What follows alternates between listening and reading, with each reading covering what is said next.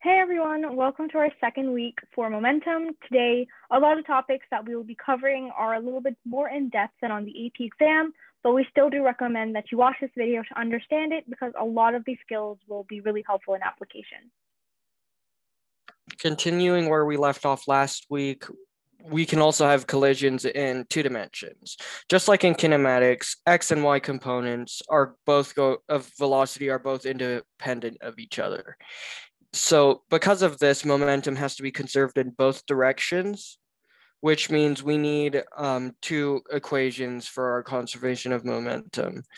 We can see that here um, when we set up our equations, we're gonna want one for x, so that's gonna be like this x component of the final velocity. And in one equation, and the y components of the final velocities in the other equation. And now we're going to be shifting a little bit away from momentum, but still talking about a really important idea, which is center of mass, which will in more complex videos be applicable to momentum. So just first up, the simple definition, the center of mass is a unique point which in which the weighted position of all the vectors sum up to zero. And in really simple objects like this disk or a ring, it's basically the center of the object. But when we have more complex objects or systems, we have to think about it as X and Y components and use sort of an average to solve for it. And these are the two formulas. And the important, the reason that this is really important is that when we act on this object or the center of mass, it's sort of how the uniform force would act upon. So we can pretend that all the mass is just concentrated on that one point, which is what we call the point mass. And then that allows us to solve for the movement of the object with less complexities. And if you think about it, it's like if you push a ruler on the side, it's more likely to rotate. But if you push it in the middle, it will move forward in a straight line. And because you're it's moving in a straight line, you know that you're pushing at the center of mass. Yeah, the center of mass is also the place where you can balance an object. So if you have like a pencil like this, if you try to hold it, um, if you can find the center of mass, it'll stay there. Whereas, as Tanvi said, if you push a force in the wrong direction, it'll just fall. And so um, moving beyond just one object, we can also have multiple objects and find the center of mass of all of those objects at once. And that's what we call the center of mass in a system. And it's basically the same formula. You find the mass times the position of each object, and you add them up, and then you divide by the mass. And then the result is basically that you'll get the location where you can consider all the masses concentrated. Um, along with the center of mass, we, we also have the uh, center of velocity and um, the center of acceleration. And it's basically the same thing as the center of mass, except this is where the object is moving or accelerating. And so um, with this knowledge, we can compute the total momentum of a system, and we can compute the total acceleration of a system. So in the case of momentum, we know that momentum is mass times velocity. So we'll find the whole mass of the system. We can find the velocity of the center of mass, and we'll know the direction in which the momentum is also of the system. And the same thing for acceleration. We can use multiply by the mass to get the net force on an object.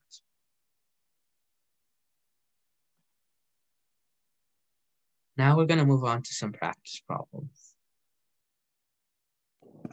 Our first pra practice problem is collision in two dimensions. A hockey puck A with mass 0.1 kilograms traveling at 5 meters per second collides with an identical hockey, hockey puck B, which is at rest.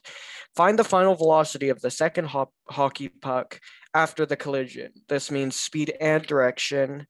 If the final speed of the hockey puck A was two meters per second, and the its direction is 30 degrees above the x-axis. And we have a diagram in the top to, uh, if you need help visualizing that. We'll give you a few seconds to pause and figure it out for yourself. Okay. So for this problem, we want to set up our two equations. Our first equation it here is telling us the directions in the or the velocity momentum in the x direction. Our first term is just the initial velocity times the initial the mass of A because B isn't moving, so we don't have to worry about that. And then our second one is our our final or the second side is the final velocities and momentums. And now when we take that out, what we end up with is this. We end up with um we have to since we don't know VAX, this final velocity, what we end up doing is we take this final velocity cos 30 for the x component. And then over here, we take the sine of 30 for the y component. Now we just solve for the final velocity in each direction. And we just plug plug and chug from there to get our final velocities in each direction as 3.26 meters per second in the x direction and 4 meters per second in the y direction. To find the magnitude, we just use the Pythagorean theorem to get 5.16 meters per second and then we just do some trig, use inverse cosine to find that theta is about 50.82 degrees below the x-axis.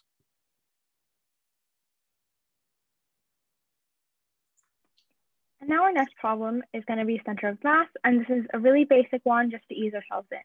A 59 kilogram woman and a 71 kilogram man sit, sit on opposite sides of a 3.5 meter long seesaw.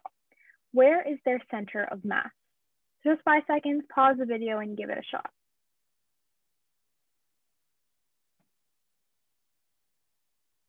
So first, it's really helpful to just set up our variables. Sometimes it can be helpful to draw also a diagram if you want to draw like a seesaw and then place the two people so you know the distance and where you can maybe guess that the center of mass might be. And we know that the mass of the woman is 59 kilograms. The mass of the man is 70, oh, should be 71, apologies. Um, and that the position of the woman would be at zero meters and the man would be 35 meters. Of course, you can place, you can just exchange these two because all we know is that they're on opposite sides. As long as you really understand where the direction is, if you say the position to the right or to the left, it will be fine. And then you can put the numbers in. Again, apologies, this should be saying 71. And then if the mass were to be 73, you'll get 1.94 meters.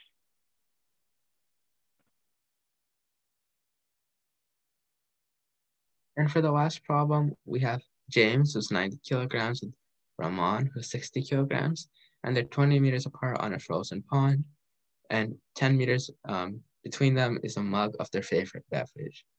So they use a rope and they pull on the ends of it, and it kind of stretches between them. Uh, when James has moved six meters towards the rug, how far and in what direction has Ramon moved? So again, we'll give a few seconds to pause and then we'll continue.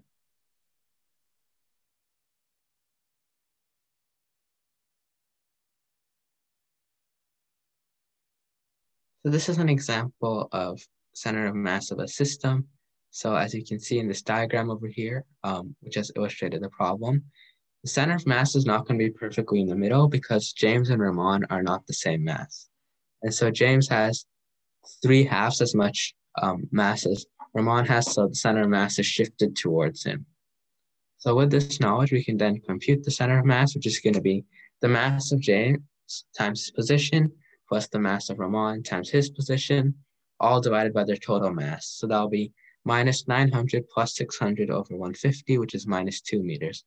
So as you can see in the diagram, the center of mass is 2 meters to the left of the cup or the mug. But when James moves towards the mug, his new x-coordinate is minus 4 meters, right? Because he moves from 10 meters away to 4 meters away. So we can find the new center of mass by doing 90 times minus 4 plus 60 times what is Ramon's new mass divided by the total mass, and we can get that. Ramon's new mass is actually minus 2 meters. And so from this, um, we can, and that should be equal to minus 2 meters. And so from this, we can see that his new position is 1 meter. And it should be equal to minus 2 meters because the center of mass is not changing. And just to add on to that, if it's confusing why the center of mass doesn't change, it's because there's no external forces on the system. So you can remain, and just say that the center of mass stays in the same position, and therefore you can set it equal to negative two. What? thank you so much for joining us. Hope you liked the video. Make sure to subscribe to our STEMEY channel. And then of course, join our Google Classroom with the link below for more content, videos, and presentations and worksheets. Thank you guys. Bye.